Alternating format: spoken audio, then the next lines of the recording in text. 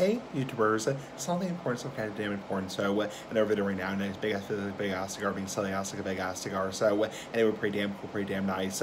Anyway, um, another bad words video right now, nice big ass bad words video like a big ass cigar, being silly ass like a big ass cigar, pretty damn cool, pretty damn nice. Uh, pretty damn, just pretty damn cool. That crap is pretty cool. That crap is pretty cool in general. Uh, discuss space right now. The word worthless is a bad word. So, worthless means not very important. You might say, oh, you're a worthless person. Is it a bad word? It's definitely not nice. Not nice ass like a big ass cigar to say, oh, you're a worthless person. Yeah, that's being a real dick. It's like, you know, what calling somebody a worthless person, especially your elderly 97 year old granny, not very nice. Not very nice ass like the big ass cigar. I mean, for a better word, if you call somebody a worthless person, you're a total asshole. It's like, you know, for a better word, it's like, you know, because it's just a mean thing to say in general. So is it a bad word? Is it a cuss word, a vulgar word, like the S word, the F word, the B word, that kind of crap, you know? No, it's not a cuss word or a vulgar language. Is it a nice word, you know, nice ass word like the big ass cigar? No way in hell saying, oh, you're a worthless person, you're a worthless